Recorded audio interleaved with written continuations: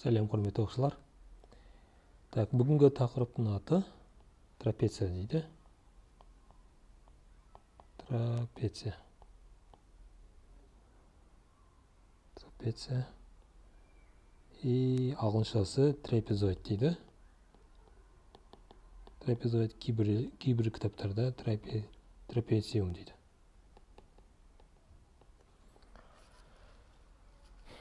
Так ол не нәрсе?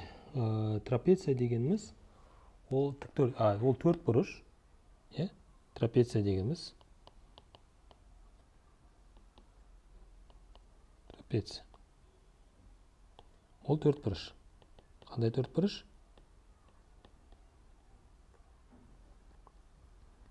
Ә, екі. Так тек екі қабырғасы.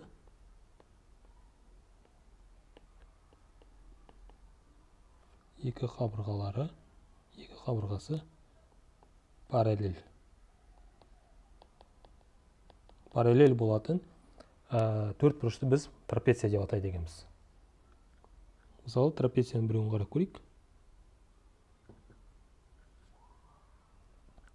Мынандай трапеция бар екен. Көріп отқаныңыздай ә, дс және аб бұл жерде аб және дс екеуі бір біріне параллель болып тұр иә қабырғалары. Бірақ қалған екі қабырғасы ад мен бс екеуі параллель емес. Егер осындай болатын болса бізде жаңағы төрт бұрышымызды трапеция деп айтамыз. Яғни қалған екі қабырға параллель болмау керек. Егер екеуі параллель болып қалса онда бізде ол параллелограмм деп аталады. Болмаса онда ол трапеция деп аталады. Бізде бұл трапеция. Трапецияның ә, бір несі бар? Бір қызық жері ол жерде мысалы біз үшбұрышта бір төбе ғана былай бір табан ғана болатын да. Табан деген кезде яғни табанды үшбұрышта біз өзімізге қарай аламыз да. Жаңағы аудан тапқан кезде биіктікке көбейтетін қабырғаны біз табан деп қарастыратын едік деген сияқты. Ә, тең бүйірлі үшбұрышта да екі қабырғасы тең болса үшінші қабырғаны табан деп алатын едік. Енді мына жерде екі табан болады екен. Жаңағы екі параллель қабырғалар табан табандар деп айтамыз да. Ә, енді мынау табан да мынау табан бұл табанды енді а, үлкен табан десек те болады да үлкен табан или давайте үлкен табаны үлкен табаны дейік и үстіндегісін кіші табан дейік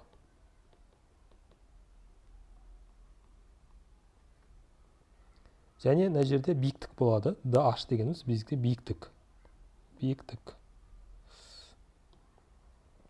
биіктік и мынау да ә, соответственно екеуі де биіктік. Бірдей болады.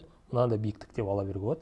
Кез келген жаңағы ә, екеуіне де перпендикуляр болып тұратын кесіндіні жаңағы кесіндінің соңғы нүктелері неде жататын болса жаңағы екі параллель қабырғаның бойында жататын болса онда біз сол ә, кесіндіні біз биіктік те ала беруге болады. Кескені биіктік болып қала береді да. Перпендикуляр жүре берсеңіздер так бұл трапеция дейміз. Осы. Енді трапецияның қасиеттеріне көшейік. Так ең бірінші қасиеті не дейді? Бірінші қасиеті трапецияның ішкі бұрыштары. А two that have share the same leg are supplementary дейді. Сонда былай қарайтын болсақ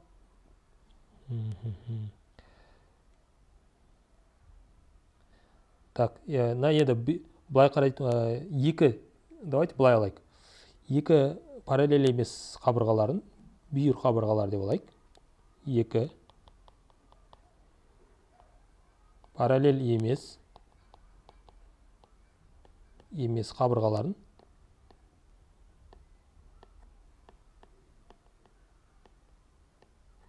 бүйір деп алайық иә бүйір қабырғалар деп алайық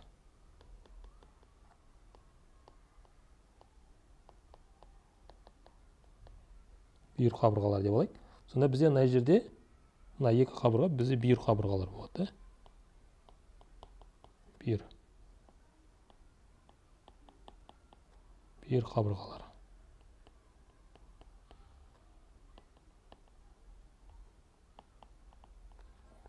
и давайте бірінші қасиетіміз бірінші қасиетіміз ол жаңағы трапецияның не дейді?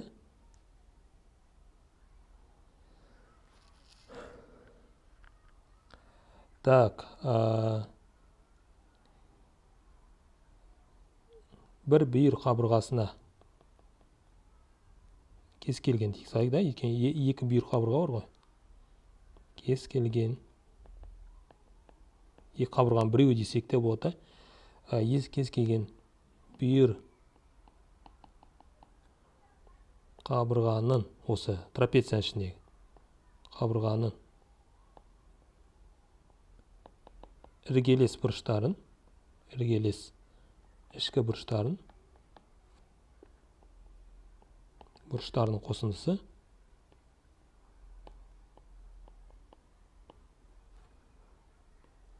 қосындысы 180 градусқа тең. Градусқа тең. Осы бізде бірінші қасиетіміз.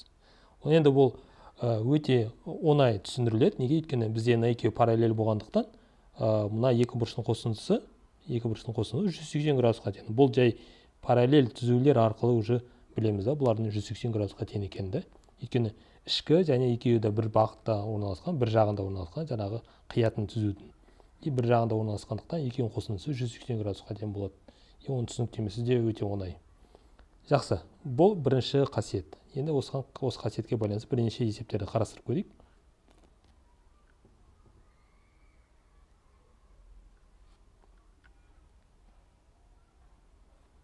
Енді бұның бәрін қазір сразу суреттің ісіне шығара беруге болады. Былай қарайтын болсақ а б д бізде трапеция дейді.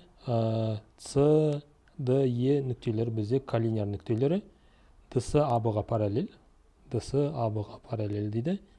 Егер де а б с елу градусқа тең болса а д е жетпіс градусқа тең онда барлық ішкі трапецияның барлық ішкі бұрыштарын тап дейді. Білеміз что мына елу болса мынау 130 градус болады иә потом мынау бұрыш енді 110 градусқа тең болады а мына екеуі бір біріне тең ғой. Мынау мен мынау екеуі тең. Сонда мынау 70 градус болады. И қосып көрсек те 360 градусқа тең болу керек та. Ну болады да. И так та мына екеуін қосқан кезде 180 мына екеуін қосқан 180 градусқа тең. Все есеп шықты. Так әзірше трапеция тақырыбы оңай болып тұр. Келесі.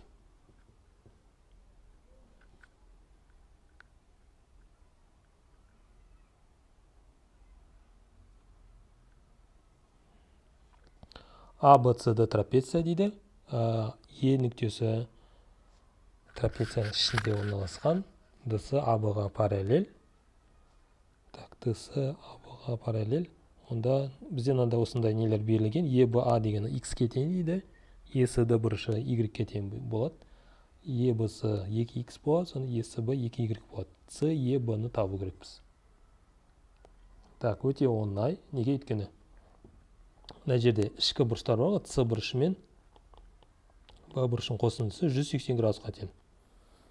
Енді сонда үш y қосу үш x ол тең болады 180-ге x қосылған y нешеге тең? Алпыс градусқа тең. Үшке қысқартып жібердік. И бізге қараңыздар мына екеуінің қосындысы нешеге тең соны тауып алайық. Екі икс пен екі y-тің ол үшін не істейміз екіге көбейте саламыз. Екі икс қосылған екі y ол тең болады жүз жиырма градусқа. Все бізде жүз жиырма градус екені белгілі. Онда мынау неше градус болу керек? алпыс градусқа тең болу керек. Ана екеуінің қосындысы жүз жиырма үшіншісінің қосындысы жүз сексен градусқа тең болу керек қой яғни қосындысы. Кезде үшіншісі бізде алпыс градусқа тең шығады. Шықты есеп.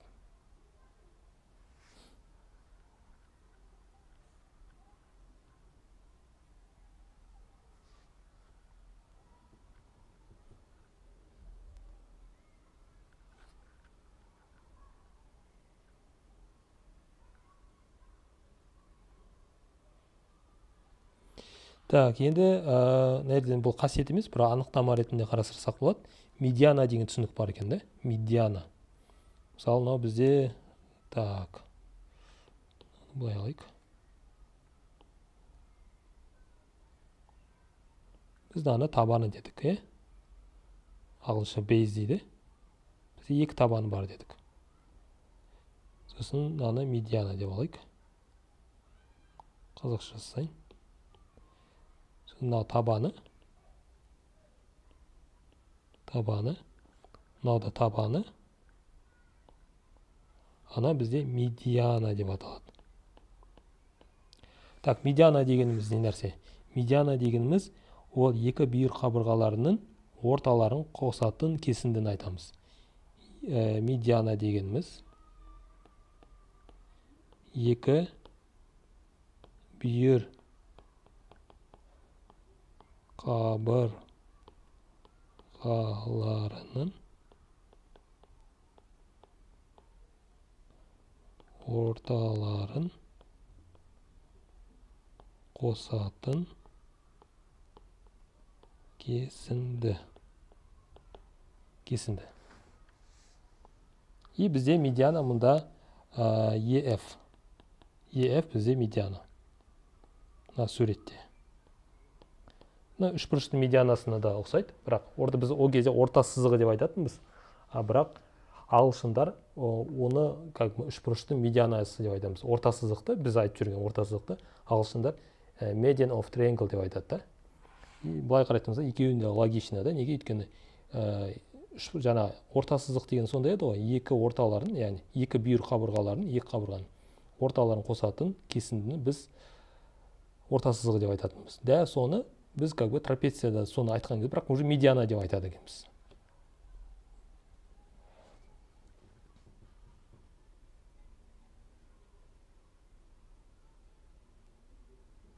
Енді медианаға байланысты бір ә, не бар? Формула бар десек болады. Медиана ұзындығы жайлы. Ә, давайте мына бір оқып көрейік. Медиана ол бізде ә, параллель болады. Не үшін параллель болатынын қазір түсіндіріп кетейін. Ә, давайте біз осының не үшін параллель болатынын бір мына есепте айтып кетейік. Так так. Мына жерде былай шығарған екен. Бг мына жерде дг деп сызған екен да и дг сызған. И бұл жерде не дәлелдеуге болады? Бірден. Мынау бұрышпен мынау бұрыш тең екен да и мынау бұрышпен мынау бұрыш тең деп кете береді да мынау бұрышпен мынау бұрыш тең деген сияқты да. И ә, тең және бір қабырғалары тең сонда бұл екі үшбұрыш бір біріне не болады? Тең үшбұрыштар болып қалады да. Екеуі бір біріне тең үшбұрыштар. Енді екеуі тең үшбұрыш болса онда дс және бг. То есть мынау мен мынау қабырға екеуі бір біріне тең болып қалады. Так кішкене басқаша қояйын. Мынау мен и дс екеуі бір біріне тең болып қалады. Екеуі тең болса онда бізде мынау не болып қалады? Екі табанның қосындысы болып қалады да. Екі табанның қосындысы аб қосылған бг да. Мынау типа аб қосу дс болып қалады да. Ал мынау еф бізде сол еф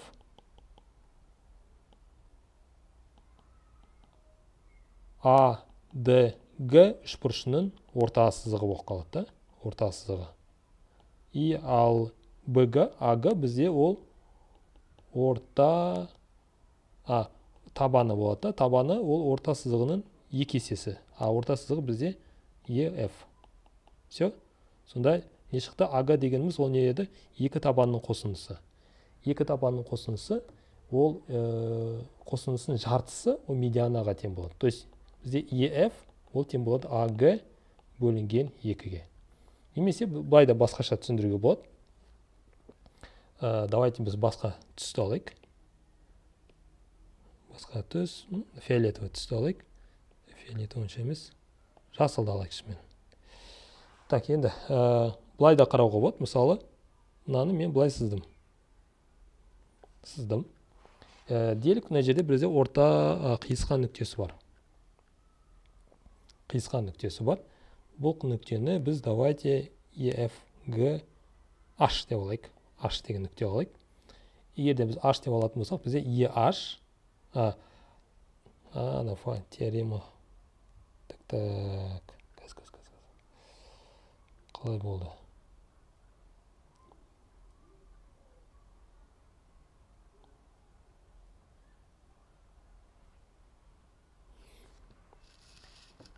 Hmm.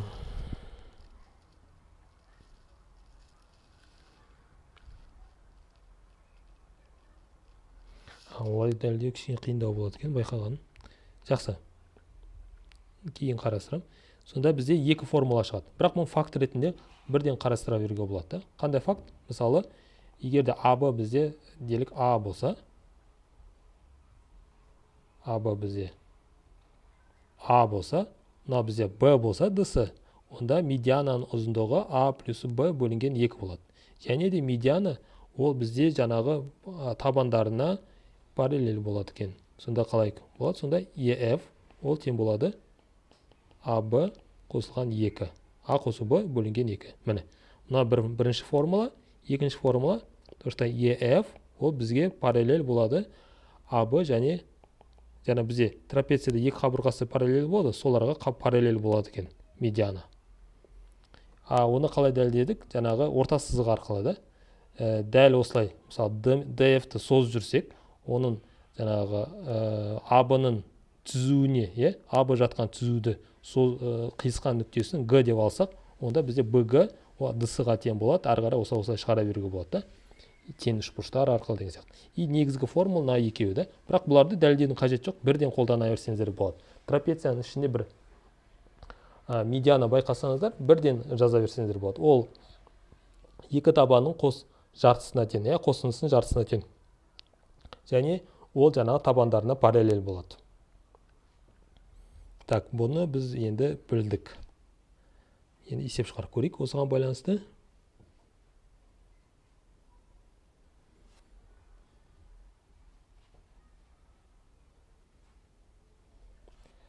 трапеция абц берілген дс абға параллель яғни бізде дс мен аб бізде бір біріне табандары болып есептеледі. Ef бізде медиана екені берілген да а біз не деп айттық? Медиана деген табандарының қосындысының жартысына тең дедік. Все болды. Сонда бізде ef ef тең болады. Аб қосылған сд соның жартысына тең да екіге бөлгендес и екіге бөлген сегізіне тең болатын болса ол еще ef сонда нешеге тең болады а бізде ef сегізге тең екені белгілі. Сегізге тең екені белгілі. Аб ол x плюс бірге тең. Қосылған. Сд ол x плюс үшке тең. Бұны бөлеміз екіге. Сонда ол ә, медианаға тең болады ә, сонда мынау он алты екі х плюс төрт. Сегіз x плюс екі. Xіміз тең болады алтыға. Бізде x-ке табу керек еді аб ны табу және дс ны табу керек а б бізде x плюс бір болса онда x қоятын болсақ ол жетіге тең болады. А мына жақта ол тоғызға тең болады. Сонда біздің жауабымыз шықты.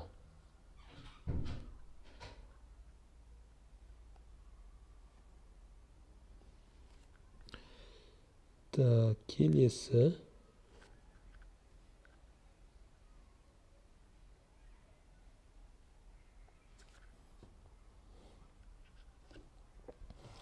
Так а б с д трапециясы берілген ак ке және ед екеуі үшеуі бір біріне тең болады. Бп пф фсд үшеуіне бір біріне тең болады.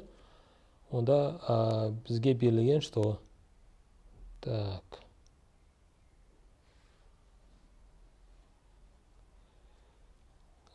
Аб аға тең дс сға тең кп тоғызға тең болса еф алты сантиметрге тең. Онда а мен ны тап дейді. А мен ның ұзындығын табу керекпіз. Ең алдымен мына жерде де байқауға болады. Бізде ә, жаңағы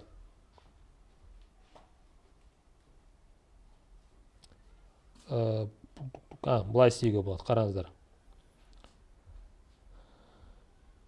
Фалес теоремасын қараймыз да? Фалес бойынша. Фалес теоремасын қай кезде қолданатын едік? Егер де ә, бірнеше параллель түзулер болса онда жаңағы параллель ә, и сол екі параллель түзуді давайте бір еске түсіріп алайық. Мынандай бір параллель түзулер бар параллель түзулер бар. И сол параллель түзулерді бір қиюшы өтетін болса тағы да бір қиюшы өтетін болса онда олардың қатынастары бірдей болады мынау қатынас пен мынау қатынас мынаны мынаған бөлетін болсақ допустим да? И ол мынаның мынаған бөлгендегісіне тең болады деген сияқты да. Сонда біз жерде ә, ол қай кезде орындалады? Егер мынаның бәрі бір біріне параллель болса ғана орындалады. А бірақ біз әзірше білмейміз иә? Мына мыналар бір біріне параллель бола ма болмай ма деген сияқты нәрсені білмейміз. Бірақ біз егер ол медиана екені белгілі болса біз айта аламыз что олар параллель екен да. Бірақ біз мына жерде ә, мысалы мынау мынау капа бізде параллель екені даже берілмеген. Сондықтан біз әзірше білмейміз. Бізге берілген не нәрсе? Ә, дс мен аб бір біріне параллель екені берілгені. Ә, берілген болса онда былай істейміз да? Мысалы қарайық. де де бөлінген ек иә екеуі бір біріне тең ғой. Ә, де бөлінген ай де екі емес. Так қалай істесек? Де де бөлінген. Дк дк деп алайық дк бөлінген. Ка ол тең болады. Цп бөлінген. Пб дей салайық бп и екеуі бір біріне тең ғой. Иә келісеміз ғой. Неге өйткені мынау екі есе үлкен мынау бір есе да? Сонда бізде мынау екеуі де екіге тең болады. Неге? Өйткені цп екі есе үлкен мынау бір есе ғана үлкен де сонда бұл екіге тең болады. А екіге тең болса онда не деген сөз? Ә, біздің мынау мынау мына екеуі и так та параллель екені берілген. Сонда үшіншісі кп бізде ә, параллель екенін табамыз. Фалес теоремасы арқылы.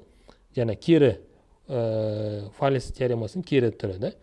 И бізде үш кп кп дс және аб ға параллель екенін таптық. Әрі қарай ф да таба салуға болады. Ол жерде дәл сондай мысалы де бөлінген ек ол тең болады cf бөлінген fp байқасаңыздар де мен с ек екеуі тең бір біріне мына екеуі тең бір біріне екеуінің қатынастары тең болады яғни бір болады. А бір болса онда не деген сөз? Бізде шығады что cd ол параллель и так та бізге берілген что аб ға параллель екен ой аб бұған дейін таптық кп ға да кп ға параллель екенін таптық. Капыға параллель екенін таптық. Енді мынау қатынас арқылы біз көріп тұрмыз что еф та бізде параллель екен.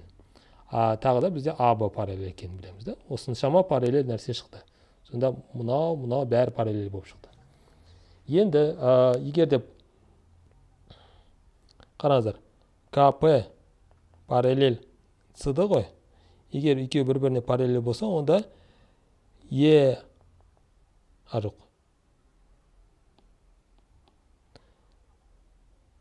К, П, С, Д ол бізде трапеция неге өйткені екі қабырғасы параллель болып тұр да трапеция и біз білеміз что уже еф бізде не нәрсе медиана екенін білеміз да? Қандай трапецияны ой үшбұрыш деп трапеция кпсд ның трапециясы екен иә кпсд ның трапециясы. Енді наоборот жазу керек. Кпсд қазақша болғандықтан. А кпцдың трапеция ә, несі болса? Медианасы болса трапециясының медианасы болса онда не деген сөз? Еф ол тең болады кп бөлінген ой кп қосылған цд бөлінген екі. И шығады алты. Тең болады. Кп біздағы тоғызға тең мынау ға тең бөлінген екі. Сонда цмыз тең болады үшке. С тең болады үшке. Дәл сол логикамен ә, а б ф ені таба салсақ болады. То а б ф е ол да трапеция болады. Трапеция болады. Оның ішінде кп бізде медиана болып қалады. Медиана. Егер медиана болса онда біз айта аламыз что кп тең болады ә, қосылған. аб бөлінген екі. Сонда ә, не шықты? 9 тең болады. а қосу 6 бөлінген 2 амыз тең болады 8 12-ке тең болады екен да? Амыз 12-ке тең болады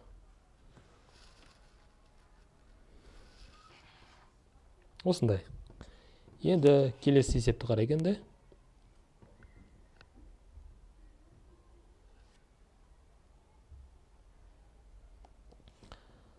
так а б с д трапецияның ішінде бізде суреттегі берілгендей ады бцға параллель екен да ады бцға параллель. Ә, так. Ае және бе жаңағы ішкі бұрыштарының несі екен? Бисектрисалар екен да сәйкесінше. Ады алтыға тең болады және бц онға тең. Табандары бізге берілгелі белгілі иә так так так так.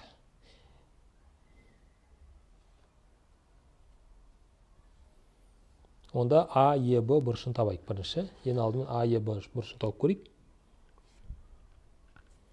Так ә, біз білеміз что мына а е б бұрышы нешеге тең 90 градусқа тең болу керек екен. Неге? Өйткені қараңыздаршы а бұрышы а бұрышы мен. Б бұрышының қосындысы 180 градусқа тең. Неге? Өйткені мына екеуі параллель болғандықтан да. Егер 180 градусқа тең болса делік мынаны кішкентай а мынаны кішкентай б мынаны б б десек онда екі а қосу екі б ол тең болады 180 болып қалады. Ал а қосу б ол тең болады 90 градусқа тең болады. Егер мына екеуінің қосындысы 90 градусқа тең болса мынау да 90 градусқа тең болады да. Все біз таптық. А е б ны таптық. 90 градусқа тең да. Енді ә, дәлелден что де ец ға тең екен дейді. Так де ец ға тең болатынын дәлелдейік. Так а, енді қарайық. Мына жерде мыналарды өшіріп тастайық. Біз қарас таптық оларды. 90 градусқа тең болады анау мынау да. Енді қараймыз. Ә, давайте біз мына 90 градустан бір медиана түсірейік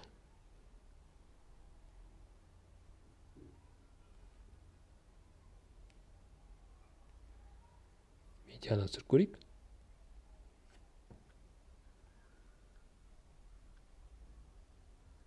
медиана түсірдік и да қиысқан нүктесін тиген нүктесін табанын. Не деп алайық а б с д е ф деп алайық f нүктесі. И біз 90 градустан шыққан медиана ол гипотенузаның жартысына тең екенін білеміз ғой. Одан не деген сөз? Еф ол тең болады. Фб ға және аф қа. Сонда бұлар бәрі тең болып шықты. Енді ә, тең екенін таптық. И мына екі қабырға тең болса мына екі қабырға тең болса онда мына бұрыш так давайте 90 градус дегенді өшіріп тастайық. Ну 90 градус деп ойлай берейік та біз білеміз уже. 90 градус. И мына бұрыш пен мына бұрыш екеуі тең болып қалады. А егер тең болса мына бұрышпен то есть байқасаңыздар феб FEB бұрышымен FEB бұрышымен CBE бұрышы. Екеуі тең болып қалды.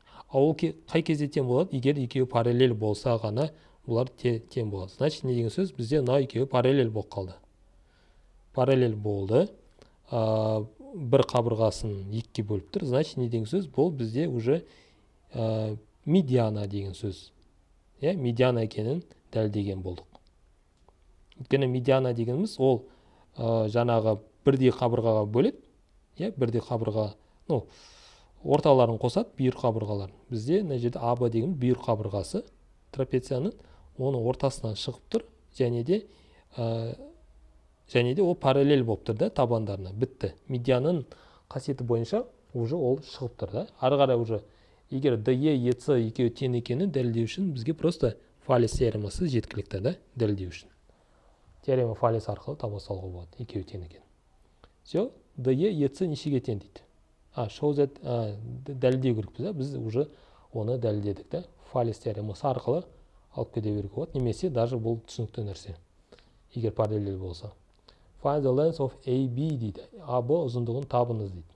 Ал давайте біз мына жерде біз жаңағы 90 градустан шыққан медиана ол гипотенуза жартысына тең дедік қой. Сонда бізде былай болады да? Ef ол тең болады аб ның жартысына тең немесе аб тең болады екі көбейтілген ef и білеміз что ef ол ә, трапецияның медианасы. Онда ол не болады? Ад мен бц ның қосындысының жартысына тең болады. Яғни ад дегеніміз алты он бөлу екі яғни сегізге тең болады. Ef сегізге тең болса аб бізде ол он алтыға тең болады. Біз таптық та. Аб ның ұзындығын таптық. Так сәлем құрметті оқушылар. Ә, біз ары қарай жалғастырамыз. Біздің трапеция тақырыбын. Осы жерде бізге трапеция берілген аб және дс параллель ае және де олар а және д бұрыштарының сәйкесінше бисектрисалары sh аб-ға перпендикуляр яғни 90 градуспен түседі. Биіктік деп алсақ та болады. Ае 8 сантиметрге тең де 6 сантиметрге тең. Онда sh-ның ұзындығын табыңыздар дейді так енді мына жерде алдыңғы видеоларда да түсіндіріп кеткенімдей бисектриса болса д бұрышы мен а бұрышы екеуінің қосындысы ол 180 градусқа екенін білеміз иә? А мен д ның қосындысы ол 180 градусқа тең. Онда мына жеке жеке бұрыштар мыналар екеуінің қосындысы 90 градусқа тең болады. И сондықтан мына жерде 90-ға тең градус шығады да. Егер мынау 90 тең градус шықса онда мынау 10 сантиметрге тең болады пифагор теоремасына бойынша. Жақсы енді бізге табу керек биіктікті. Биіктік с ашты табу керекпіз да. С табу үшін былай істейік. Дәл осындай яғни биіктікті мына жерге параллельно қылып сызсақ. Осындай биіктік сызсақ болады да. Біз осындай биіктік сыздық и мына биіктік бізде мына жерде 90 градуспен түседі и мына жақта да 90 градуспен түседі. Ә, нүктелер белгілеп алайық. Мысалы қандай нүкте дейік? А б с д е дейік мынаны. Е мынаны f дедік и дәл осындай и а, жоқ былай істейік қателестім. Биіктік емес біз әзірше мынаны сызайық е нүкте о е нүктесі бар екен ғой тақта. Е нүктесінен дс ға перпендикуляр сызайық. Перпендикуляр? Осындай перпендикуляр сызайық. И мына нүктені f деп алайық одан кейін е нүктесінен аб қабырғасына перпендикуляр сызайық. Так мына нүкте ретінде көрсетейік та. Перпендикуляр сызайық. И ә, табанын бұл перпендикулярның табанын f g h i деп алайық. I. И одан кейін адыға тағы да е нүктесінен перпендикуляр өткізейік. Перпендикуляр өткізейік. Өткіздік. И бұл нүктені біз бір к нүктесі деп алайық. К деп алайық. Так бәрін алдық. Енді қараймыз. Ә, мына жерде екі үшбұрыш тең екенін көре аламыз. Қандай үшбұрыштар? Кдф а кде және фде кде мен фде үшбұрыштары бір біріне тең болу керек. Так оны қалай дәлелдейміз? Қазір көреміз. А міне. Мынау 90 градусқа тең. Да? 90 градусқа тең болса онда ә, мына бұрыштарда мына екі бұрыш бір біріне тең болып қалады. Иә тең болып қалды. Бізде жаңағы аса дейді ғой яғни бұрыш қабырға бұрыш бойынша. Бұрыш қабырға бұрыш бойынша бізде екі үш бұрыш ұқсас а, тең болады. Қандай қабырғасы тең? Бізде де. де бізде ортақ болып тұр. Де бізде ортақ яғни ә, так былай істейік онда екінші бұрышымыз кде кде бұрышы тең болады фде бұрышына және кед КЕД тең болады FED. Міне осы екі бұрыш бір біріне тең болғандықтан бізде мына екі үш бұрыш тең болады. KDE үш бұрышы тең болады. FDE. ал ол екеуі тең болған кезде бізде не байқаймыз? Что KE KE тең болады FE ге. То есть мынау қабырғамен. И мынау қабырға. FE мен KE екеуі бір біріне тең болғанын көрдік. Енді ары қарай.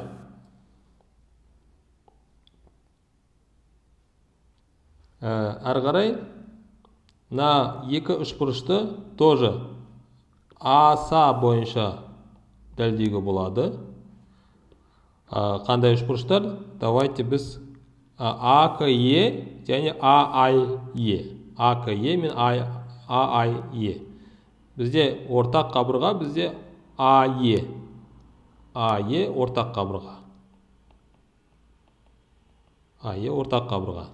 Енді а бұрышын қарастырайық. Ай а бұрыш бір бұрышы қай бұрыштен болады и мынаны да байқауға болады. Мына бұрышпен и мына бұрыш бір біріне тең болады. Неге өйткені ә, қалған екі бұрыштар бір біріне тең болып тұр да? Значит үшінші бұрышы да тең болады. Ә, онда екі бұрышымызды осыған іргелес болып тұрған екі бұрышты көрсетейік жаңағы ае қабырғасына. Қай бұрыштары тең болады? Кеа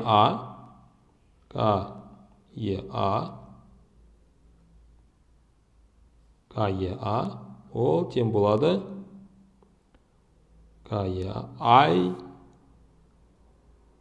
ай е а бұрышына.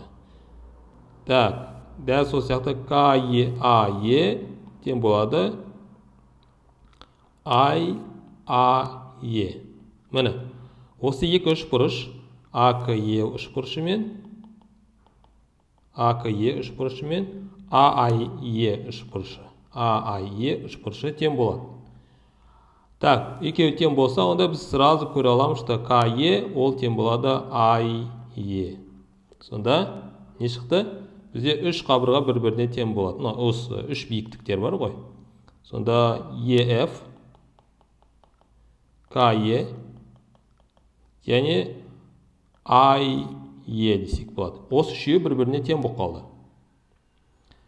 Ә, біз мынаны байқауға болады что ә, так бізде fe fe ол перпендикуляр дс-ға и ай или ае ол да перпендикуляр аб-ға енді мына екеуі бір біріне параллель болып тұр. Аб дс. А бұл не деген сөз? Бұл дегеніміз f е ай нүктелері коллинияр деген мағынаны білдіреді. Коллинияр коллинияр деген бір түзудің бойында. Сонда бізде fi fi не болып шықты? Биіктік болып шықты.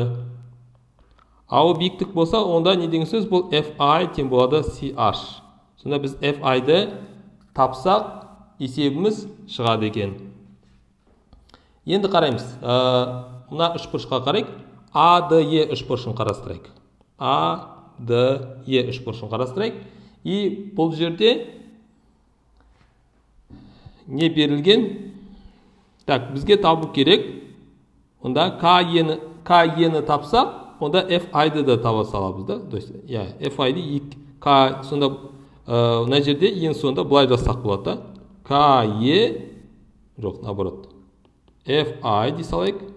Бізге f айды табу үшін fi-ді табу үшін екі көбейтілген ke деп қарастырсақ болады да екі көбейтілген ke и осы арқылы біз жаңа қазір ke-ні табатын болсақ бізде есебіміз уже шығады так ары қарай ke-ні табайық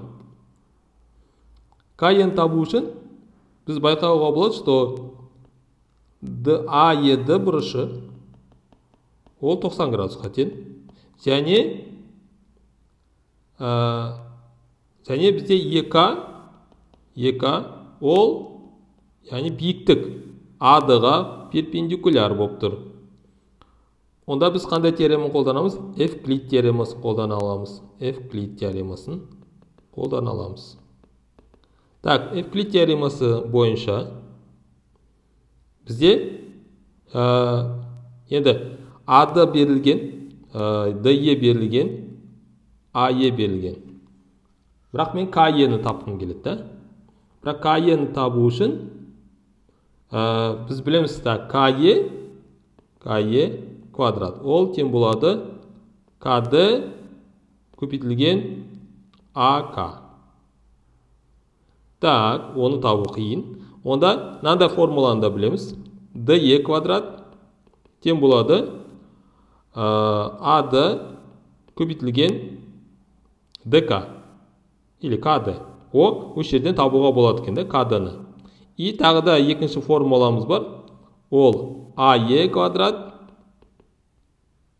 Тең болады. Так ае квадрат. Тең болады. Ак. Ад көбейтілген ак-ға. Осындай бір екеуін тең екенін көре аламыз. Так.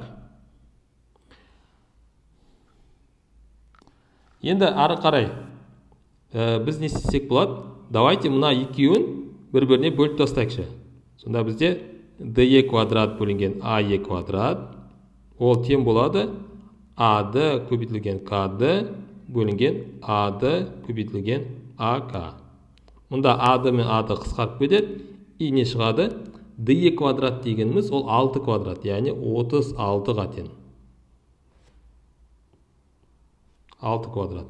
6 көбейту 6 ал ае дегеніміз ол 8 көбейту 8 да? Сонда бұл тең болады. Так кд бөлінген ак-ға. Так қысқартайық.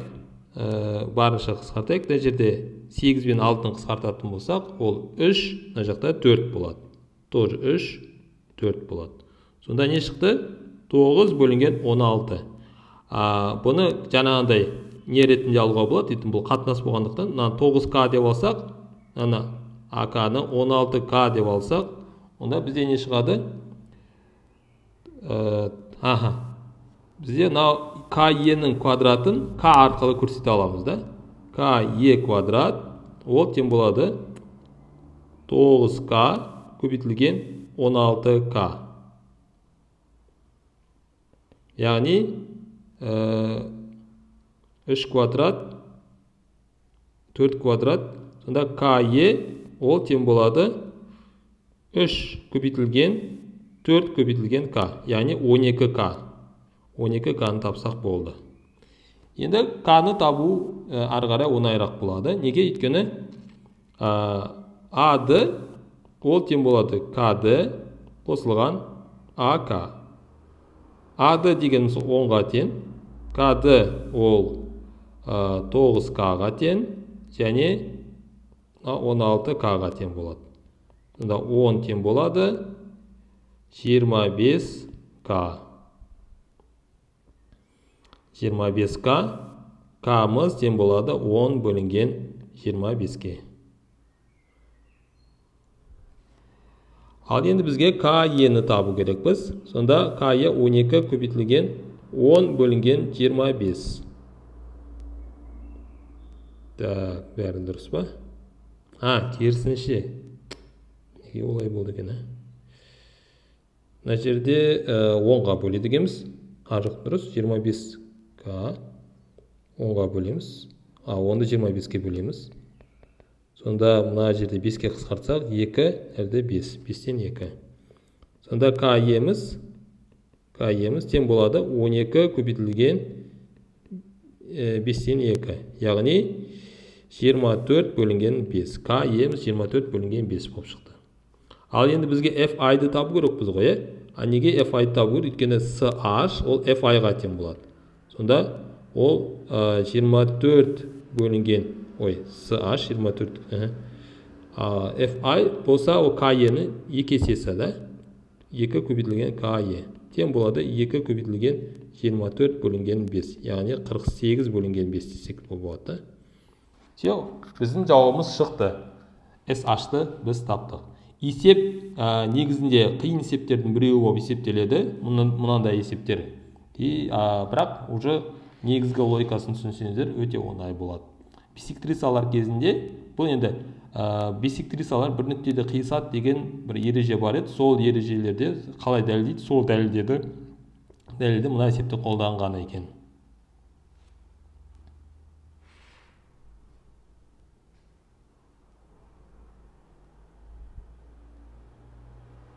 Так бұл жаңағы есебіміз.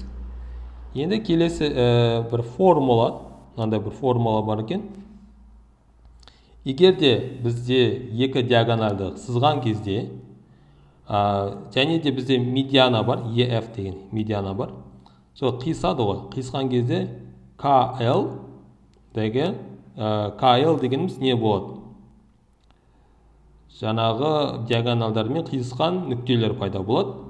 И сол kl ұзындығы ол а минус с бөлінген екі екен.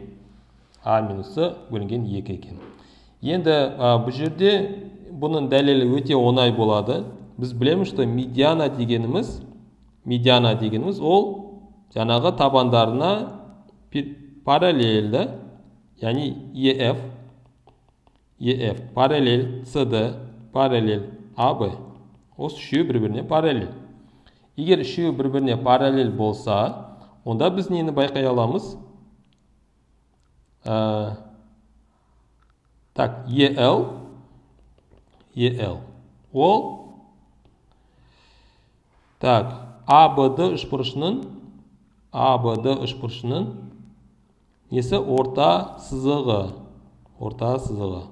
А орта сызығы болса онда ол соған параллель болып тұрған немесе соны табаны қиыспаған қабырғасы бар үшінші.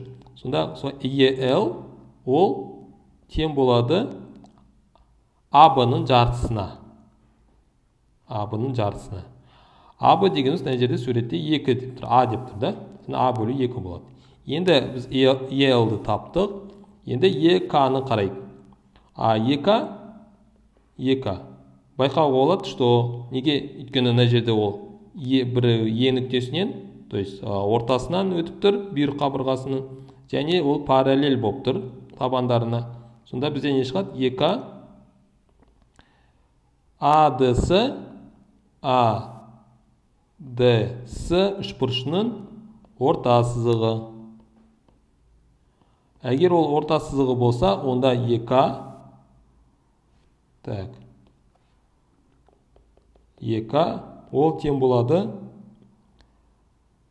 Дс бөлінген екі. А дс дс дегеніміз с. С бөлінген екі. Енді қараймыз бізге kl-ды табу керек болса kl тең болады? Так kl тең болады? Ел азайтылған ек а ел дегеніміз жаңағы а бөлінген екі. Екі а дегеніміз с бөлінген екі. Сонда бізде есебіміз шықты. А минус с бөлінген екі. Орта сызықтары арқылы өте оңай таба дәлелдеуге болады екен мына формуланы так келесі.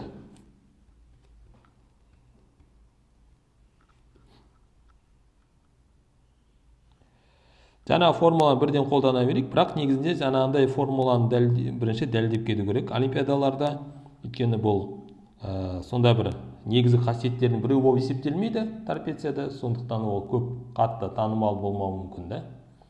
Бірақ әрине оны ә, жақсы мықты ә, геометриктер оны жақсы ә, бірден біледі. Бірақ оны айтып кету керек көрсету керек. Кейбір олимпиадаларда бұны кәм ә, критерий оцениваниенің ішіне схемасына қойып қоюы мүмкін да. И сол үшін сен осыны дәлелдемедің деп саған балды азайтуы мүмкін. Сондықтан оны олимпиадаларда міндетті түрде дәлелдеп кеткен дұрыс. Еф бізде медиана екен берілген. Ац диагональдары ац бд деген диагональ бар ек екіге тең ал аб онға тең дейді. Онда ә, табыңыз дейді дс және дк кайлды так дс және клды табайық.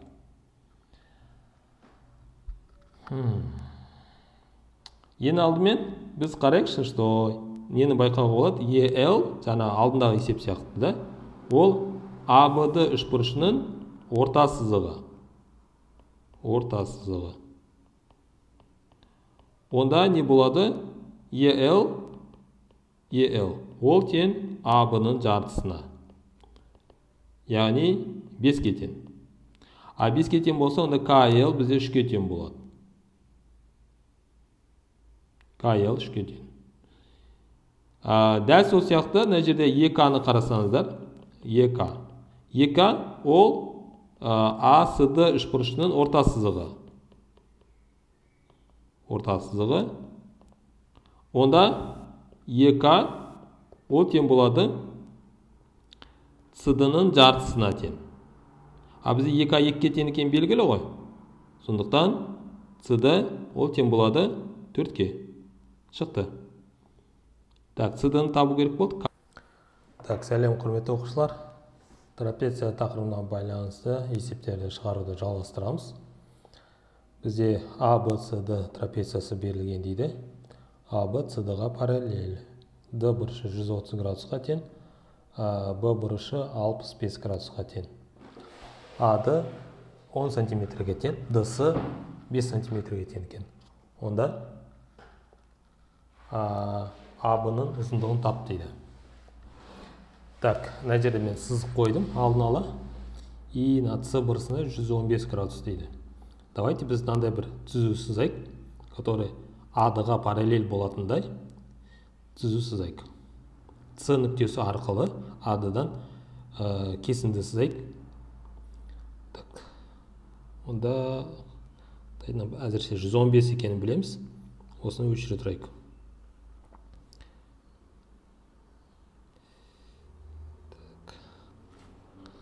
Бұны сызу үшін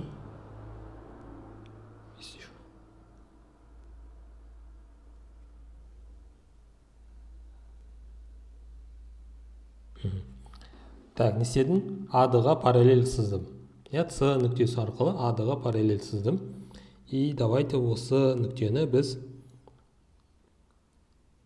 е деп алайық.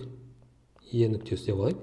И сол кезде бізде адсе ол параллелограмм болып қалады иә адце параллелограмм а параллелограммды білеміз что ол беске тең екен да? Ае беске тең екен е бізде ол. Нешеге тең? Онға тең. А мына бұрышымыз.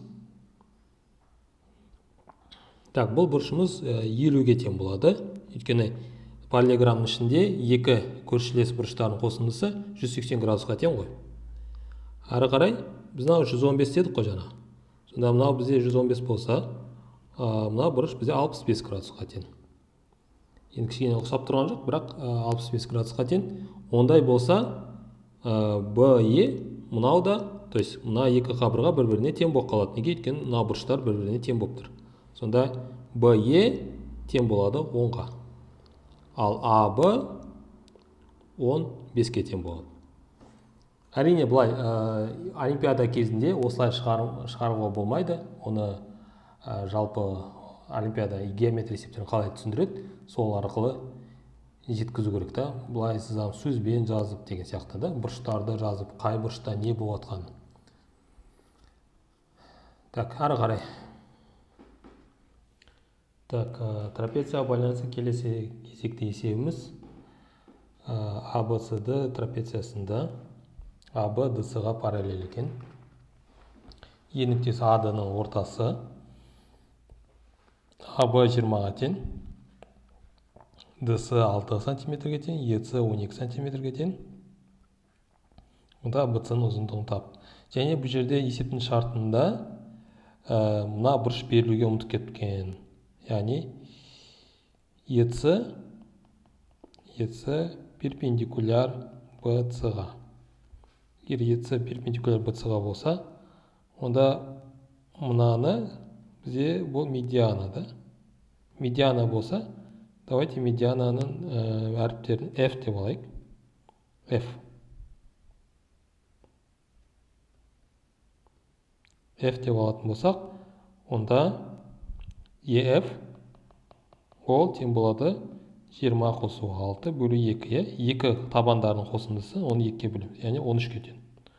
13-ке тең болса онда пифагор теоремасы арқылы fc ол 5-ке тең екенін табуға болады. Мынау да 5-ке тең болады. Неге? Өйткені бұл медиана болғандықтан мына жақтарда бір, бір, бірдей тең болады. Сонда мынау 10-ға тең bc тең болады 10-ға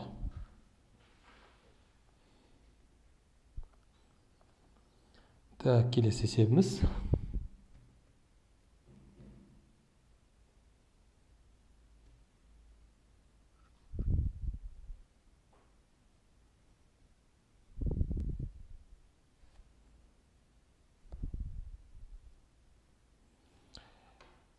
Абс трапециясы берілген. Аб дс ға параллель ад 10 градус үшке тең.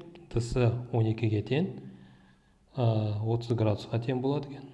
А бұрышы так бұл есепте енді әрине мына жерден биіктік түсіре саламыз.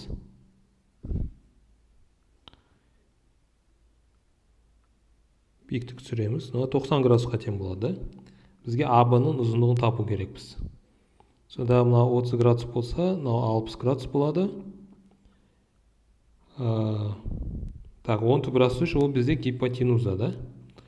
Он түбірасы мынау табаны биіктіктің табанын а б с д е деп алайық. Сонда де ол отызға қарама қабырға ғой. Ол нешеге тең болады? Бес түбірасы екі есе кіші болады. Ал ае ол бес түбірасы үшке түбірасы үшті көбейтеміз да. Бес плюс үшке плюс үшті көбейтеміз ол тең болады 15-ке сонда біз ае 15-ке тең екенін таптық.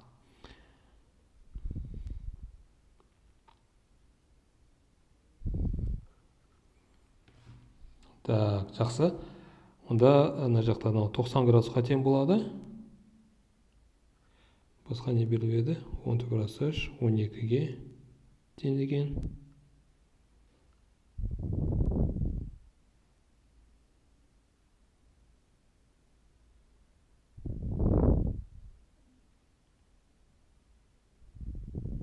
Жиырма градусқа. Е.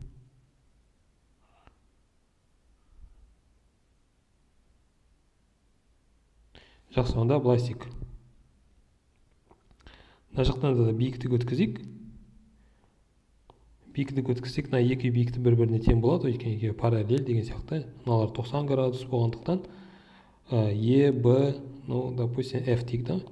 Е б ф д ол бізде тік төртбұрыш болады. Сондықтан қарама қарсы қабырғалар тең болады. Яғни де тең болады бф енді бес түбірасты үш кімге қарсы тұр? Ол фс ға қарама қарсы тұр да. Егер ол фс ға қарама қарсы тұрса ол алпыс градусқа қарама қарсы тұрса мына жер бізде отыз градус болады. Сондықтан отыз градусқа қарама қарсы ол түбірасты үш есе кіші болады яғни беске тең болады. Егер беске тең болса онда дф дф ол неше? жетіге тең болады. Сонда бе жетіге тең 15 қосу 7 АБ тең болады 22-ге. Онда кезекті есебіміз АБС трапециясы берілген. АБ ДС-ға параллель екен. О нүктесі ол диагональдардың қиылысуы.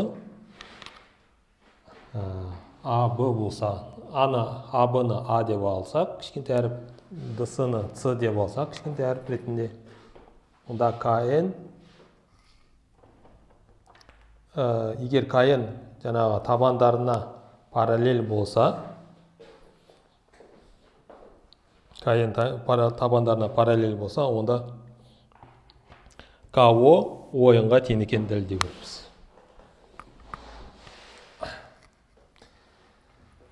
так ә, давайте былай істейік. Мына жерде ко-ны қарайық да ко ко-ны бір ә, ұқсас үшбұрыштарға қолданып көрейік. Давайте бірінші мына екі үшбұрышты қарастырайық. Адс және ако үшбұрыштарын иә нелерін қарайық. Үшбұрыштарын қарастырайық. Екеуі ұқсас екенін ә, көруге болады да. Қалай? Мысалы екі бұрыш арқылы екі бұрыш арқылы. Енді мына жерде бізде кн мен дс параллель ғой. Дс мен кн бізде параллель. Екеуі параллель болғандықтан бізде бұрыштары бірдей болады. Мысалы аок аок тең болады ацд дәл сондай ад так аок дедім ако тең болады адс все екі бұрыш тең болса онда екі, екі үшбұрышты біз ұқсас деп айта аламыз. Сонда қандай үшбұрыш бізде? Ако ако үшбұрышы ұқсас болады. Адс үшбұрышына а бұдан шығады что ак бөлінген. Ад тең болады. Ко бөлінген. Дс тең болады. Ао бөлінген. Ас екінші үшбұрышты қарайық. Дәл сондай қалай аб так а б д үшбұрышымен а д к о үшбұрыштарын қарап көрейік сонда бұл жерде параллель болғандықтан д к о тең болады. Даб бұрышына. Және док бұрышы тең болады. Дба бұрышына. Дба бұрышына. Сонда бізде үшбұрыштар ұқсас болады. Қандай? Дко ұқсас болады. Даб үшбұрышына так екеуі ұқсас болса онда бізде мына жерде қатынастардың қарауға болады. Дк или кд бөлінген ад тең болады.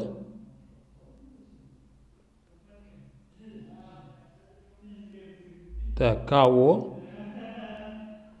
бөлінген аб тең болады д бөлінген бд и бізге мына нәрсені де көрсек болады. Қараңыздар. Так ак қосылған. Мына екі қатынасты бір қосып көрейік. Екі қатынасты қосып көрейік. Сонда бізде бір қызық нәрсе шығады. Қараңыздар. Ак бөлінген. Ад қосылған. Дк қосылған. Ад тең болады. Ко бөлінген. Аб плюс ко бөлінген. Сд енді ак мен дк ның қосындысы ак мен дк ның қосындысы ол нешеге тең? Адға тең болады да. Значит ад мен адны қысқартып жібереміз яғни бұл нешеге тең? Бір. Ал бір ол нешеге? Мына мынау соған бірге тең болады да. Сонда бізде ко ко-ны жақшаның сыртына шығарып тастасақ болады. Сонда бізде бір бөлу аб плюс бір бөлу сд шығады. Ал осы жерден біз көре аламыз что ко тең болады. Бір бөлінген аб плюс бір бөлінген сд міне мынау біріншісі. Енді дәл осыған ұқсас қылып дәл осылай біз не істей аламыз? Екі үшбұрыштарды жаңағыдай үшбұрыштарды ұқсастығын табамыз. Мысалы дәл сол логикамен дсб дс так дсб демей қояйық ДСБ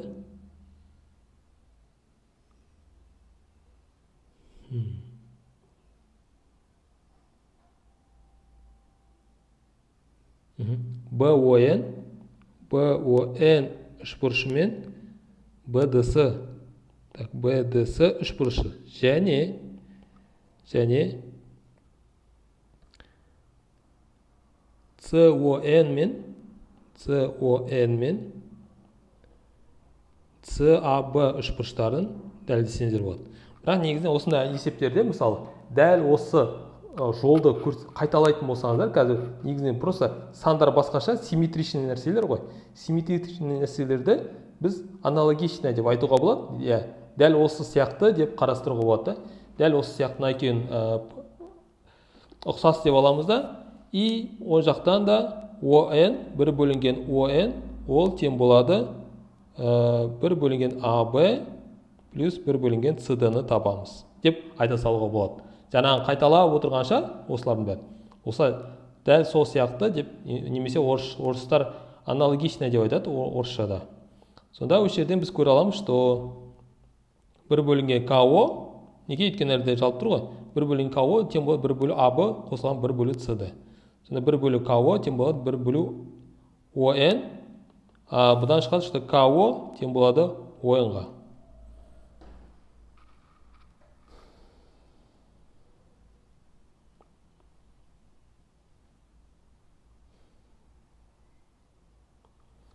жақсы. Так ары қарай жалғастырайық. Енді ә, екіншісі бізде кн ол мынаған тең екенін дәлелдеңіз дейді да. Енді ә, мынаны дәлелдегенде ары қарай оңай болады. Неге? Өйткені ә, бір бөлу ко нешеге екенін таптық қой жаңа. Бір бөлу ко ол тең болады бір, а, бір бөлу аб бір бөлу cd айтпақшы мына жерден біз былай айта аламыз что кн кн а иә иә. Мына жерден былай жаза аламыз да что мынау екеуі тең болады кннің жартысына тең болады. Енді давайте аб-ның орнына а-ны қояйық ко тең болады. Бір бөлу а ның орнына с қояйық ортақ көбейткішке келтіреміз. А көбейту с мына жақта а плюс с болады. Все сонда бізде ко ко тең болады. А көбейту с бөлінген а плюс с ары қарай біз білеміз что кн ол нешеге тең екі көбейтілген ко-ға сонда бізде шығады екі көбейту а көбейту с бөлінген ой иә а плюс с бұл да дәлелденді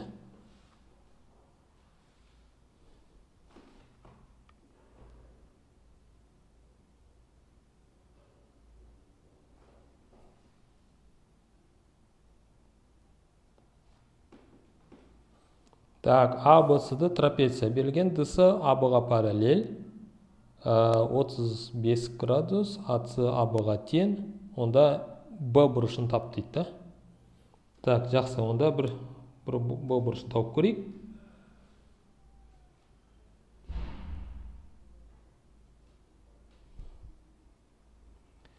Ә, біз білеміз что мына екеуі x болатын да. Егер мынау x болса мынау да x болады. И ә, екі мына бүйір қабырғалы іргелес болып тұрған екі бұрыштардың қосындысы ол 180 градусқа. Бізде бүйір қабырға бізде бц. Бц ның іргелес болып тұрған бұрыштары ол жаңағы ц бұрышы мен б бұрышы. Ал ненің трапецияның қасиеті бойынша олардың қосындысы 180 градусқа тең болады. Сонда бізде ц дегеніміз ол 35 плюс x қосылған б дегеніміз ол x-ке тең да. Сонда екеуінің қосындысы 180 болу керек x-іміз тең болады. Отыз бес деді ма жүз сексен дедік. Жүз сексеннен отыз бесті азайтамыз жүз қырық бес та жүз қырық бесті екіге бөлеміз. Сонда жүз қырық бес бөлінген екі. Так бізге не табу керек еді? Б бұрышын табу керек так б бұрышы осымен табылды. 145 бөлінген екі. Немесе жетпіс екі бүтін оннан бес па градусқа тең так келесі есебімізді көрейік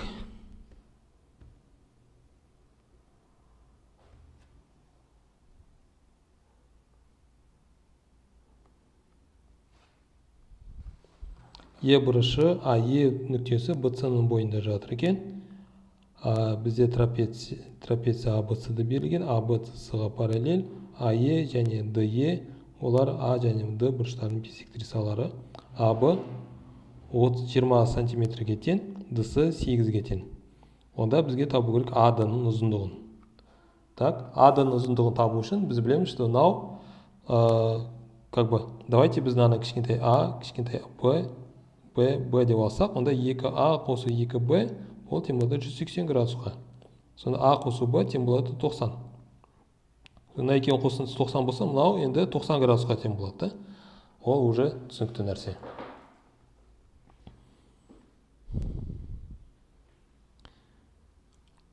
Так.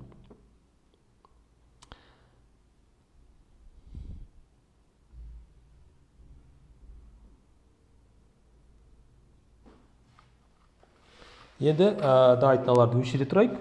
Біз тапқандарымызды өшіре тұрайық. И ары қарай ә, бізге адны табуға тырысамыз да. Егер де біз е нүктесі арқылы а иә е нүктесі арқылы медиана сызсақ. Осындай бір а д е үшбұрышының ішіне медиана сызсақ.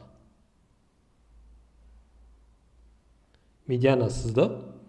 Давайте мына нүктені f деп алайық. Енді f деген нүкте жоқ шығар. F деп алдық.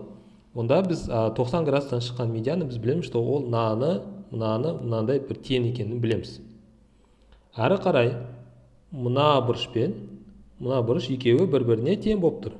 Ал ол не деген сөз?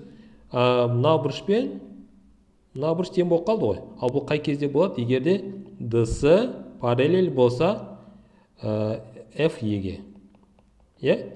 А біз бұл арқылы нені дәлелдедік? Біз дәлелдедік что аб да параллель екен да? Еге аб параллель екен.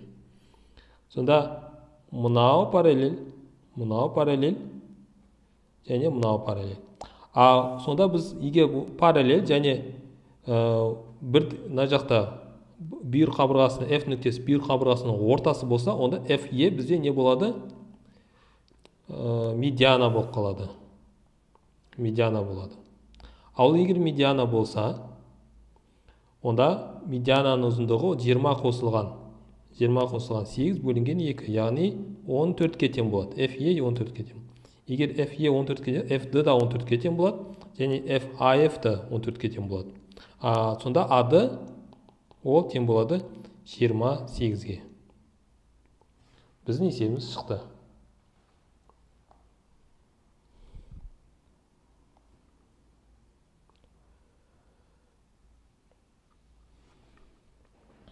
Так келесі көрейік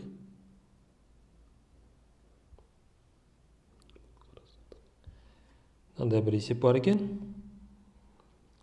а б с д бізде трапеция дейді а б және цдық табандары а б 15 сантиметрге тең екен берілген б с 6 цд 5 да 8 сантиметрге берілген онда трапецияның биіктігін табыңыз дейді ал давайте тауып көрейік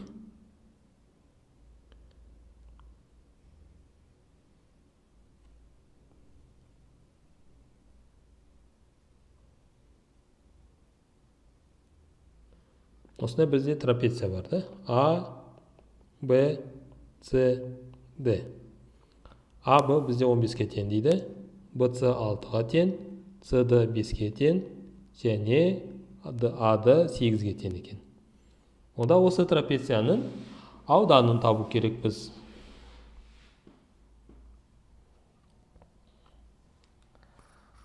так ауданын табуға тырысайық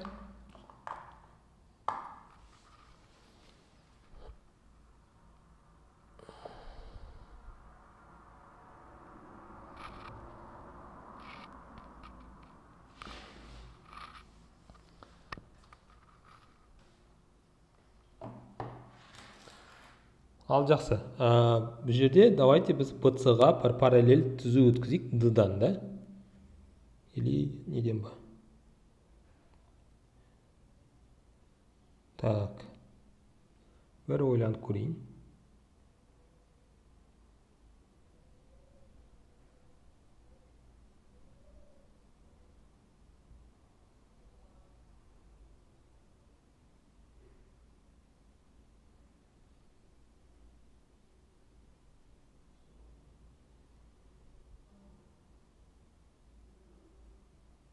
Жақсы жарайды былай істеп көрейік дан дан бц ға параллель бір түзу өткіздік да бц ға параллель екеуі параллель екен параллель өткізсек онда бізде біз білеміз что мынау уже беске тең екен да а оған дейінгісі онға тең болып еді мынау онға тең анау бізде алтыға тең болады и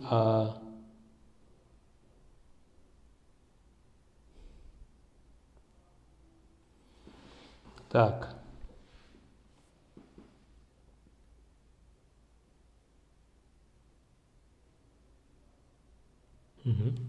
Енді ә, қарасаңыздар осы жерде мына үшбұрыштың мәндерін қараңызшы қабырғалардың бұл біздегі жаңағы пифагор үштіктері иә?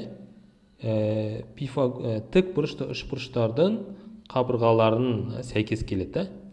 Неге? Қараңыздар давайте біз мына нүктені е нүктесі деп алайық. Сонда бізде ае квадрат. Бұл пифагор теоремасының кері түрі да. Бұрындарда біз ә, тік төртбұрыш беріледі иә 90 градус екен. И біз сол арқылы пифагорды қолданады.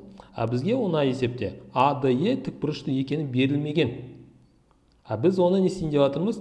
Үш қабырғасын білеміз. Сол үш қабырғасы арқылы бұның ішіндегі жаңағы қайсы гипотенуза екенін табайын деп жатырмыз да. То есть бізде ең үлкен ае ғой. Ну скорее всего ае бізде гипотенуза болады. Да егер де біздегі осы жаңағы гипотенуза квадрат қосылған екі а, гипотенуза квадрат тең болады екі катеттердің квадраттарының қосындысына тең болатын болса онда ол үшбұрышымыз бізде ә, жаңағы тік бұрышты иә? Және ең үлкен қабырғасына қарама қарсы бұрышымыз 90 градусқа тең деген сөз. Сонда мынау ае квадрат ә, тең болады ад квадрат қосылған. Де квадрат осы дұрыс орындалса онда біздің үшбұрышымыз тік бұрышты деген сөз так қарайық 10 квадрат тең болады ад өзі 8 квадрат қосылған 6 квадрат яғни 64 қосылған 36 бұл тең болады 100-ге не істейді орындалады екен сондықтан мына бұрышымыз 90 градусқа тең болады екен ары қарай бұл енді 90 градусқа тең болатын таптық.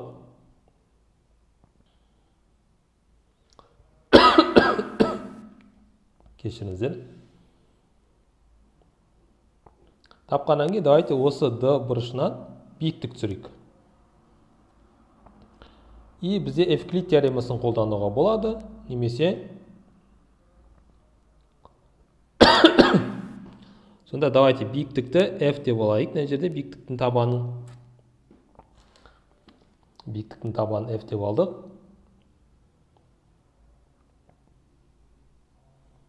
А е а евклид теоремасы арқылы аф пен ф ені табуға болады да. Кеттік ал. Евклид теоремасы бойынша ад квадрат ол тең болады? Аф көбейтілген ае және де квадрат ол тең болады? Fe көбейтілген ае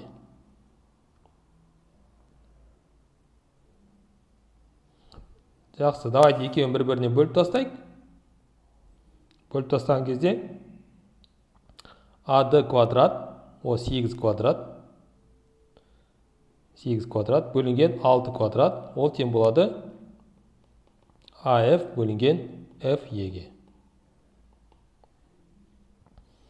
қысқартатын болсақ 64 және 36 иә?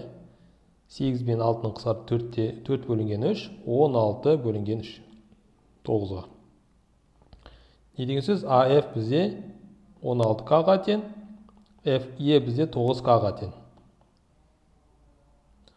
так бізге не табу керек биіктігін табу керек. А df-ті табу керекпіз да и а, бізде қараңыздар. df дегеніміз ә, df квадрат. Ол тең болады 16k көбейтілген ой неге 16k бірінші белгілеуін жазып алайық af пен f ның көбейтіндісіне тең болады. Бұл эвклид теоремасы бойынша. Сонда df-іміз квадратымыз тең болады тең болады 16к көбейтілген 9к иә бұл нешеге тең 4 яғни 4 көбейту 3 12к квадрат көбейтілген к квадратқа тең болады. Сонда df тең болады түбір асты 12 квадрат к квадрат и ол тең болады 12 көбейтілген к сонда df дегеніміз 12к енді к ны табамыз сосын df ті таба саламыз. К дегеніміз оны қалай табуға болады? Так аф так бізде мынаны қолданамыз осыны. Аф 16 к фе сонда ае тең болады. Аф қосылған f e а е дегеніміз басында 15 еді ғой сонда мынау бізде 10-ға тең еді. И бұл 10 тең болады af 16k қосылған 9k и сонда 25 и k-мыз тең болады 5-тен 2-ге шықты. Енді бізге табу керек df-ті df дегеніміз ол тең болады 12k 12 көбейтілген k дегеніміз 2 бөлінген 5-ке яғни 24 бөлінген 5-ке df бізде 24 бөлінген 5-ке тең екен. Все біз биіктікті таптық осылай.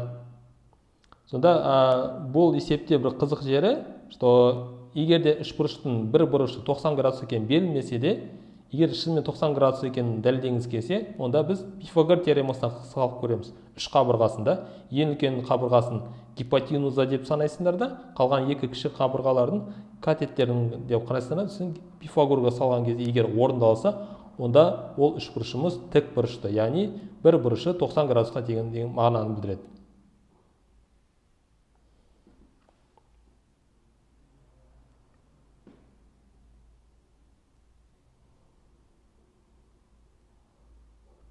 Так бұны біз жаңа ғана шығардық.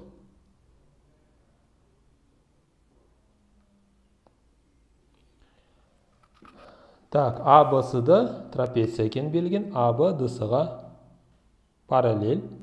Бұл есепте әрине өте оңай егер де біз не сызатын болсақ медиана сызатын болсақ. Так біз медиана сыздық. Егер де біз медиана сызатын болсақ онда мынау мен мына екеуі не болады? Параллель және медианамыз ол 14 қосылған 6 20 яғни 10 болады да. 10 болса онда мынау ә, нүкте f десек. Cf сонда 6-ға тең болады. Bf та 6-ға тең болады. Неге өйткені бұл медиана? Медиана мына қабырғанда мына қабырғанда яғни бірдей бөлікке бөліп тұр ғой. Сондықтан bc табу керек болса bc ол 12-ге тең.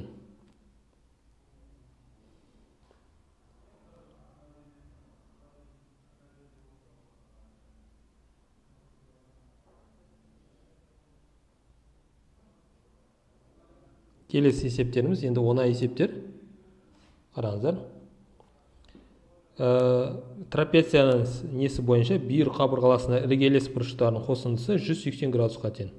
Сонда 7х минус 25 қосылған 3х плюс 5 тең болады 180 градусқа.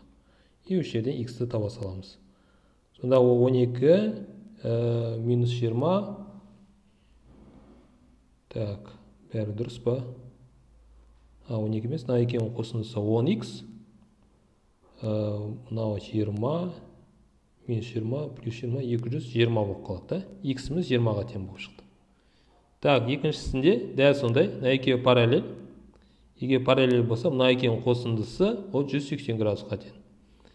И сонда 2x қосылған 70 градус тең 180 x-іміз тең болады 55 градусқа. Келесі. Бізде осылай берілген екен да и мына екеуі параллель болып тұр. Аб мен ад ад мен бс егер параллель болса онда мына жерде біз көре аламыз что x плюс 35 тең болады. Яғни екі бұрыш тең болады ғой мына бұрыш пен мына бұрыш тең болады. Андай сияқты ғой. Мысалы мынандай болса мына бұрыш пен мына бұрыш тең болады деген сияқты да. Сонда x плюс 35 тең болады. 3x минус 5-ке сонда x-іміз тең болады. Так так так. Жиырмаға. Жиырма градусқа тең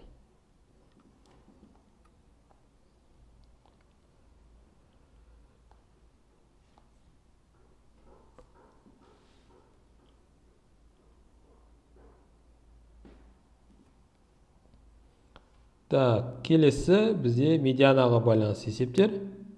Ә, давайте бірден уақыт жоғалтпау үшін медиана формуласын қолдана саламыз. X-міз тең болады. 9 қосу 6 бөлінген 2 а ол 15 бөлу 2 7 бүтін оннан 5-ке тең болады.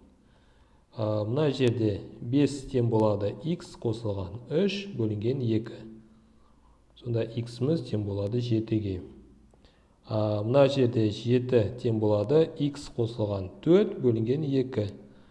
Сонда x-міз тең болады онға. Ой мына градус емес қой ұзындық. А, мына жерде төрт тең болады алты x қосылған. Төрт екі x бөлінген екі. Так сегіз төрт x сонда x-міз тең болады бірге. И осындай есептерді осылай шығарып тастауға болады екен. Так келесі.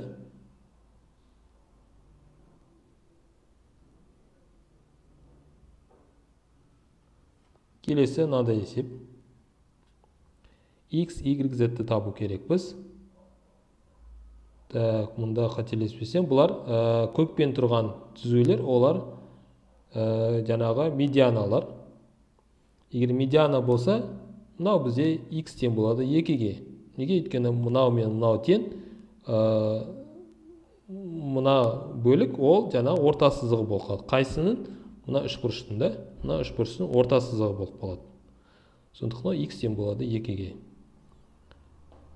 Так жақсы. Ал мына ұзындық. Мына ұзындық ол тең болады беске. Сондықтан y тең болады үшке болып қалады. Ал мынау xz тең болады екіге. Неге? Өйткені ол ә, мына қабырғасы тең и мына екеуі параллель. Өйткені медиана екені берілген есепте. Сондықтан олар осындайға тең болады. Келесі. X y z-ті тап дейді а x z-ті тап көрейік. Так енді қараймыз. Жерде төрт болса мына жерде төрт болса бұл орта сызығы ә, бұл медиана мына көкпен тұрған медиана. Орта сызығы болса с тең болады сегізге. А мына а тең болады нешеге? Төрт қосу екі алты яғни он екіге тең. Ары қарай мынау тең болады төртке x тең болады төртке. Болды есебіміз осылай шыға салды. Так үшіншісі де дәл сондай. Мына бізде орта сызық кімнің? Мынаның да? Сонда бұл 5 бөлу екіге тең болады x-міз дәл солай y-те 5 бөлу екіге тең. Ал а ол тең болады мына екеуінің қосындысының екі есесі да. Сонда ол 3 қосылған 5 бөлу 2 десек 6 қосу 5 яғни 11-ге тең. 11-ге тең екен ағымыз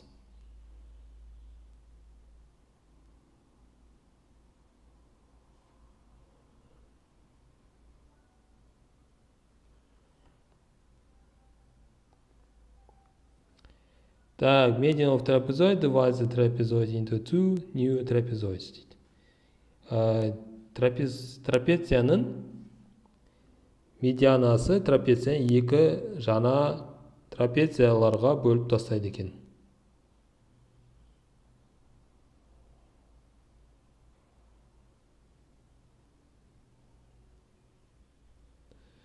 Екі жаңа трапеция бөліп тастайды. Егер де uh, length of the median of the new trapezoids бізде мынандай бір не бар? Ә, медиана бар. Ол екіге бөліп тастайды екен. И және де тағы да бір медиана бар. Медианалар. Бізде мынаны осыны сызғанымызды біз қандай да бір ә, не деп алсақ жаңағы трапеция и оның мына ортасындағы медианасы. Біз ә, ол бірақ екі түрлі тағы да трапецияларға бөліп тастайтынын білеміз. Өйткені орта сызықтары бізде параллель. Міне осылай сыздық. If the length of the new medians of the new trapezoids are 8 cm and 12 cm дейді. Біреуі 8 сантиметрге тең біреуі 12 сантиметрге тең болса find the length of the bases of the original trapezoid дейді. Онда мына ұзындықпен мына ұзындықты жеке жеке тап дейді. Так жақсы. Ең алдымен мынаны байқайықшы. Давайте біз әріптерді қойып көрейік чтобы бізге түсінікті болу үшін да. А б с д деп алып алайық е ф г д деп алайық ой неге г д? Г аш да? I j деп алайық ij и сонда бізде ij ij ол e f g h e f g h төрт бұрышының яғни төрт бұрыш болған кезде екеуі параллель болғандықтан трапециясының трапециясының медианасы. Онда не деген сөз? 12-ге 8-ді қосып 2-ге бөлеміз бұл 10-ға тең болады. Енді қарайық. Hg hg ол ә, ij cd трапециясының медианасы. Трапециясының медианасы болса онда ә, медиана ол 8 тең болады. 10 қосылған дысы бөлінген 2 так 8 6 2 16 16-дан 10-ды азайтамыз. 6-ға тең болу керек. Мына жері 6-ға тең дәл сол сияқты аб ның ұзындығын да табуға болады. Аб ол тең болады. 14-ке все барлық нелерді таптық. Find the basis of the uh, original trapezoid. Негізгі трапезоидтың нелері не, ә, қабырғаларының параллель яғни табандарының табандары алтыға біреуі тең біреуі он төртке тең болады екен так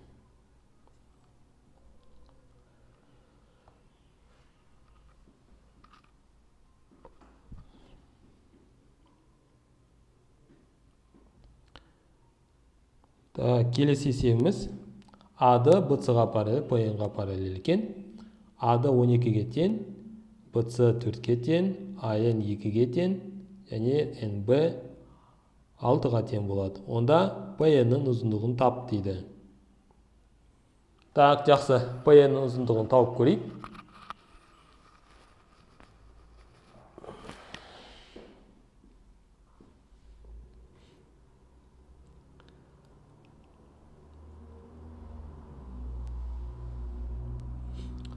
Ең алдымен давайте біз бұл жерде а яғни ны қосайық.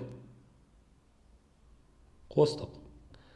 Ны қосқаннан кейін давайте біз осы пм мен қиысатын нүктені е деп алайық. Е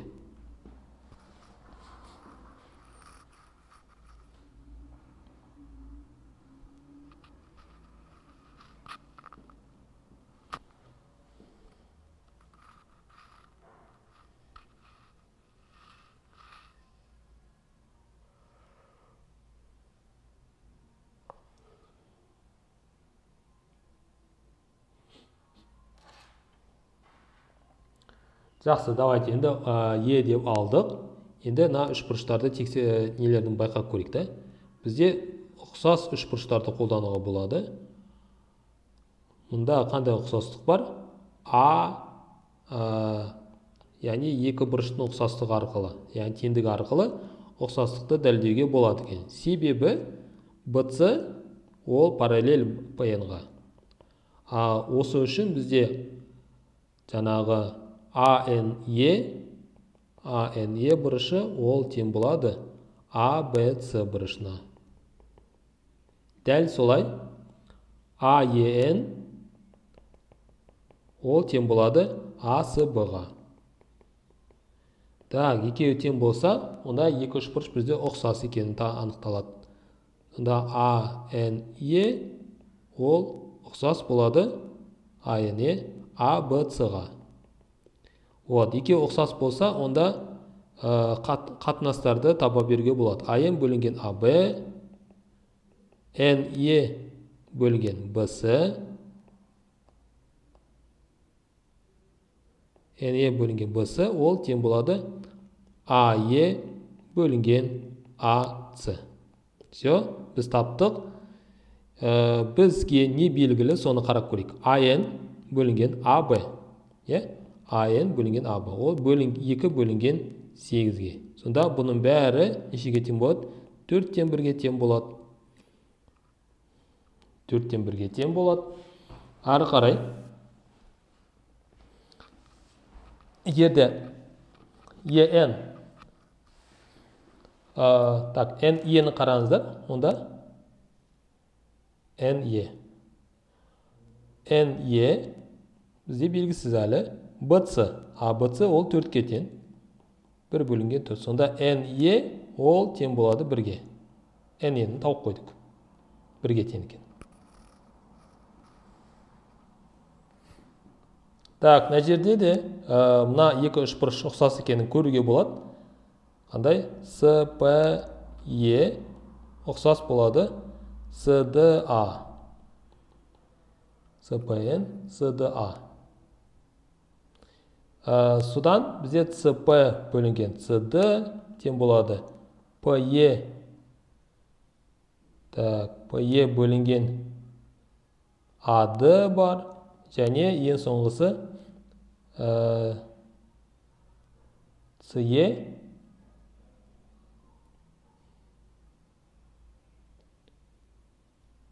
ce бөлінген. Ce бөлінген. Ац так енді қараңыздар да мына екі не бізде қатынас бар да. Сол екі қатынасты керекшелерін қосып алайық. Допустим мысалы ce қосылған ацыны ае қосылған ацыға қосып көрейік. Сонда қалай болады? Ае қосылған ce бөлінген ац әрі қарай. Біз нені қосқан ыңғайлы болады. Так айн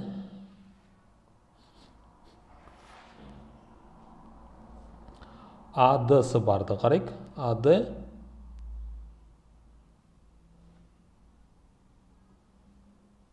Так кез келгенін қоса берсек болады негізінде. Или бұл жерде не бар? Мына мен и мынаны қосайық та. Сонда төрттен бір қосылған пе бөлінген ады бөлінген ады так ары қарай жалғастырайық. Мына екеуінің қосындысы білеміз ол нешеге тең адыға тең да. Сондықтан бұлар қысқарып кетеді да ады. Қысқарып кетті яғни бірге тең болды. Төрттен бір қосылған пе так пені қарап көрейік. Пе бөлінген ад он екіге тең так давайте барлық жағын он екіге көбейтейік. Сонда он екі тең болады үш қосылған пе сонда пе тең болады тоғызға. Шықты. Бізде пе тоғызға тең болады. Так бізге табу керек еді пн да. Сонда пн ол тең болады тоғыз қосу бір яғни онға тең. Так келесі.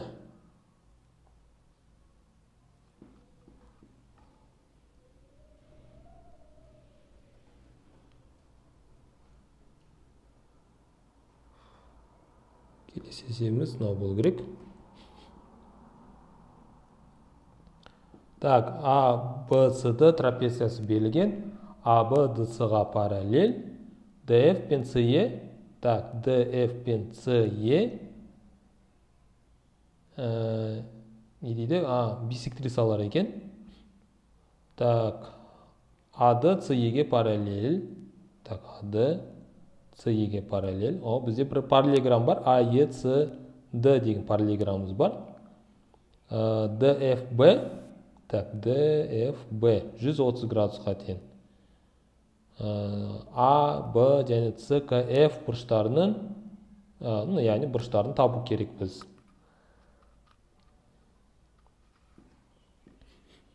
так қалай тапсақ болады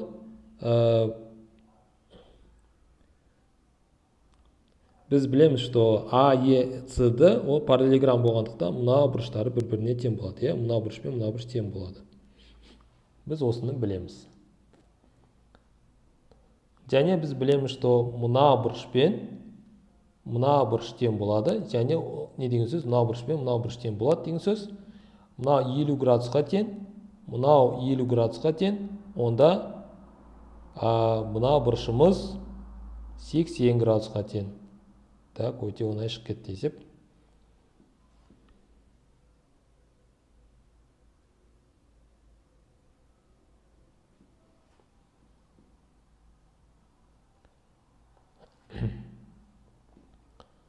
так осыларды көріп тұрсыздар не берілгенін. Бізге а д ны табу керек та а д ә, біз білеміз нені? Мыналар бүйір қабырғаларындағы бұрыштар екеуін қосыңыз жүз сексенге тең оны екіге бөлетін болсақ мына екеуін қосыңыз шығады. А ол сонда мына жеріміз 90 градусқа тең болады. А 90 градусқа тең болды. Ол не деген сөз? Давайте 90 градуста медиана жүргізейік. Медиана жүргіздік. Ә, медиана жүргізгеннен кейін давайте мынаны f деп алайық. Бізге ны табу керек қой иә? Ны табу керек. Аха. Енді ә, қарайық. Бізде fn fn а біз fn пока біз білмейміз что ол не медиана екен да. Өйткені біз pf ті параллель қылып сызған жоқпыз. Біз pf ті ә, медиана қылып сызып жатырмыз то есть үшбұрышы иә адп үшбұрышының ішінде фп медианасын сызып жатырмыз да? Медиана. Фп дегеніміз медиана. Медиана болса ол білеміз что мынау бір қабырға мынау қабырға және мынау қабырға үшеуі бір біріне тең болатынын білеміз. Және ә, мына екі қабырға бір біріне тең болғандықтан мына бұрыштар да тең болады. Онда мына бұрыш пен мына бұрыш тең болса онда бізде не шығады? Fp ол параллель дс ға және де ә, біз білеміз что pn тоже дс ға параллель да? А бізде екеуінде де ортақ нүкте бар. Значит не деген сөз бізде шығады что оказывается fp ол жаңағы медианың бір бөлігі болып шығады. Сонда fn cd-ның несі? Параллель болса fn сол кезде не болды? Медиана болды. Енді ғана медиана деп айта аламыз да. Трапецияның медианасы енді ғана болды. А трапеция медианасы ол тең болады 14 қосылған 4 бөлінген 2 яғни 9-ға тең. 9-ға тең болса fp бізде 3-ке тең ал ад онда 6-ға тең болады. Неге? Өйткені мынау 3 болады мынау 3 болады. Сонда бізде ады 6-ға тең екенін таптық.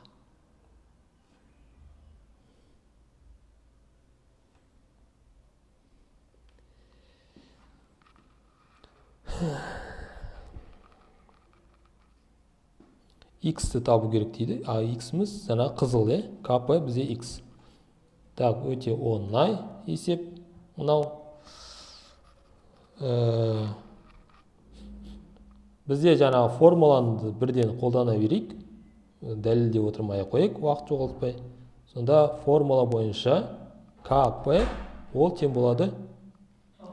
Екі көбейтілген. Сегіз көбейту төрт. Бөлінген. Сегіз қосылған төрт. Сонда ол нешеге тең екі көбейту сегіз көбейту төрт бөлінген он екі. Он екі дегеніміз ол екі көбейту екі көбейту үш. Төртпен мынаны қысқартып жіберуге болады. Болды иә? Сонда ә, не шықты?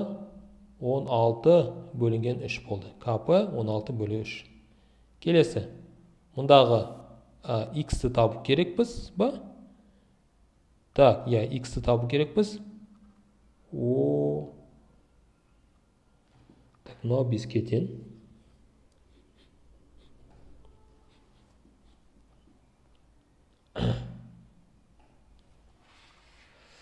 так қайсы үшке тең болып тұр сонда као үшке тең болып тұр ма?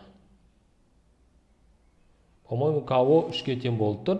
Сонда ана екеуі де үшке тең болады. Кп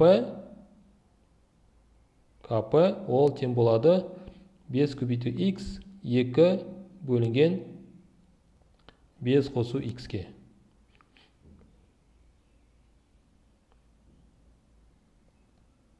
немесе былай жазуға болады. Біз енді формуласын кішкене еске түсіріп тұрмыз ғой сол үшін бірден жаза беруге болады. 2 көбейтілген бір бөлінген 5 қосылған бір бөлінген x а наоборот олай емес так кешірім сұраймын жарайды формуланы қолдана берейік бірден 2 5 x бөлінген 5 қосылған x. Сонда кп бізде ол алтыға тең 6 көбейту 5 x. Мына бес көбейту x бес қосылған x болса сонда отыз қосу алты x тең болады. Так он x сонда отыз тең болады төрт x-ке x-міз тең болады 15 бөлу екіге. Мына жерде екіге тең болса мына жерде екіге тең болады. Онда x-ті тап дейді да. Сонда бізде ну ко дей салайық. ко тең болады. Үш көбейтілген x бөлінген үш қосылған ко-мыз ол екіге тең ә, көбейтейік сразу. Үш қосылған x-ке сонда ол үш x-ке тең болады алты плюс екі x тең болады үш x-міз тең болады алтыға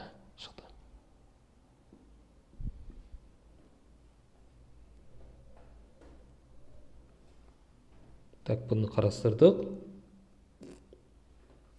Қалды мынау есеп. Тағы да бір есеп қалды сонымен трапеция тақырыбы да бітеді. Так бізде трапеция берілген аб дс ға параллель dh аб ға перпендикуляр pt аб ға перпендикуляр пот а коллинияр дейді. Так пот коллинияр екен берілген? Аб так он екіге тең. Дс төртке тең екен да? Дс төртке тең. Ал он екіге тең. Дh алтыға тең екен. Дh алтыға тең. Оп және от табу керекпіз да. Оп мен отны табайық.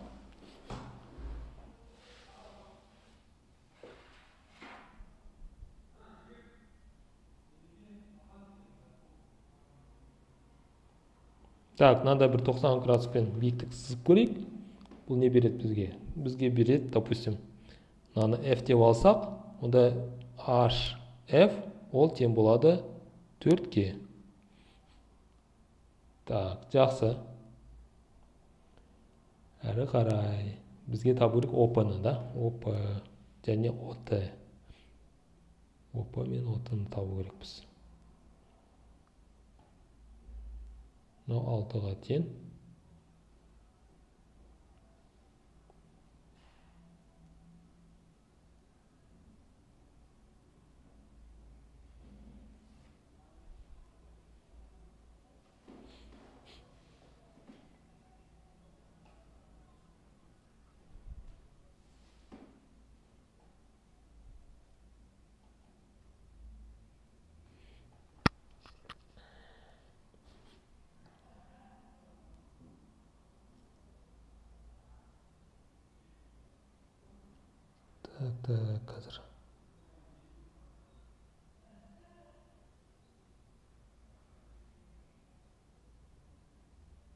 төрт он екі дедік алты биіктік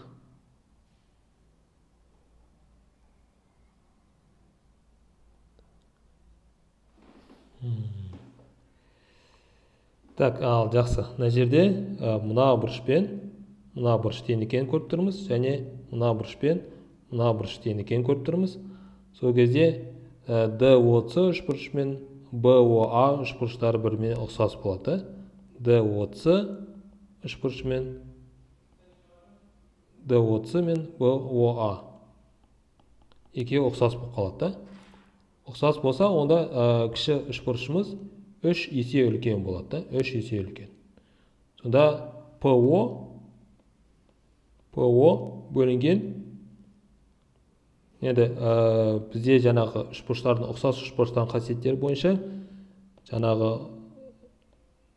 ұқсастық коэффициентіне байланысты болады да бәрі. Сонда отыз мынау бізде ұқсастық коэффициенттер отыз бөлу оа ә, дс бөлінген аб деген сияқты. И және биіктіктері де ұқсас болады да. Сонда по бөлінген от да? Оп мен от.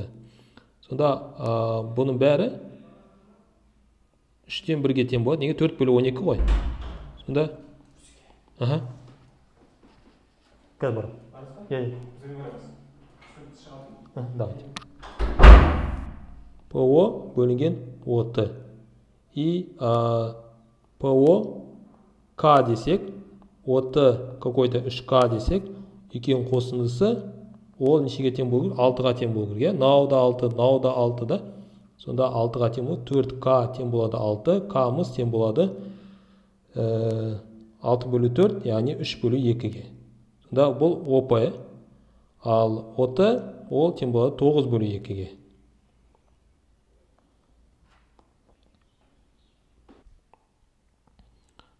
Трапеция тақырыбындағы ең соңғы есебіміз так бізде трапецияның төрт қабырғасы берілген. Давайте біз мынандай не жазайық осындай. Адға параллель түзу өткізейік. Делік мынау f деп ойлайық. Егер де бұл f болса онда af тең болады үшке af үшке тең болса онда fb ол 34-ке тең болып қалады да. 34-ке тең болады и және де мынау параллелограмм ғой afcd параллелограмм 16 30 34 ә, пифагор теоремасының кері түрін қарастырсақ онда ә, мына жерде қалай істеуге болады? Мысалы fb тексеріп көреміз да. Bf квадрат тең болады. Bc квадрат плюс fc квадрат. Тең бола екен соны тексеріп көреміз. bf квадрат дегеніміз 34 квадрат. bc квадрат дегеніміз ол 30 квадрат. Және тең болады fc квадрат яғни 16 квадрат. Так давайте бір біріне азатып көрейік. Сонда 4 көбейтілген 64 болады да. 4 көбейтілген 64 шықты ма? Мынау итакта төрттің квадраты 16 деген ол сонда төрттің төрт дәрежесі мына жерде де төрттің төрт дәрежесі яғни екеуі бір біріне тең болды не деген сөз онда мынау дегеніміз 90 градусқа тең болады деген сөз мына бұрыш 90 градусқа тең болады так енді бізге биіктікті табу керек мына есепте Аха, биіктікті табу керек биіктікті табатын болсақ былай түсірейік биіктікті 90, 90 градуспен түсірейік и ә, делік мына нүктені е нүктесі деп алайық. Е нүктесі. Онда бізге биіктікті табу керек. Қалай? Так оны былай істей саламыз иә типа 16 квадрат ол тең болады 34 а, бірінші биіктікті табу үшін с е квадрат. Эвклид теоремасын қолданамыз. Иә 90 градустан биіктік шығып тұр ғой. Сонда эвклид теоремасын қолдана аламыз. Евклид теоремасы бойынша fe көбейтілген be екеуіне тең болады. Ә, енді тағы да евклид теоремасын қолданып көрейік. Fc квадрат формуласын.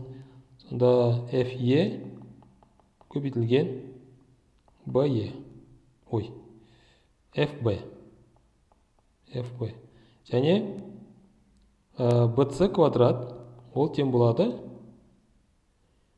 Be көбейтілген fb давайте екеуін бөлейік бір біріне сонда бөлген кезде ә, fc так былай fc квадрат дегеніміз ол 16 квадрат. Яғни 16 көбейту 16 дей салайық қазір қысқартуға ыңғайлы болу үшін. Және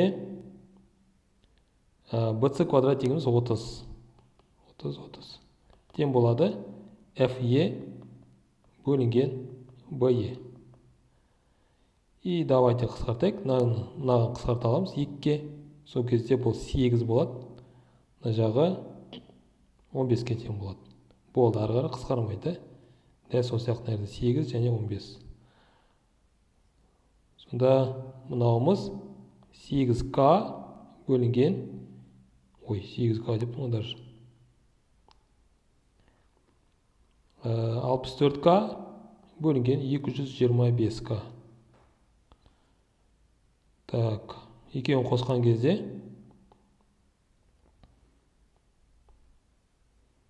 а енді ce квадрат. Тең болады. 64 к көбейтілген 225 к и це ол тең болады. 8 көбейтілген 15 к. То есть 120 к-ға тең. Иә це яғни биіктігіміз енді fb fb тең болады. Fe қосылған be да?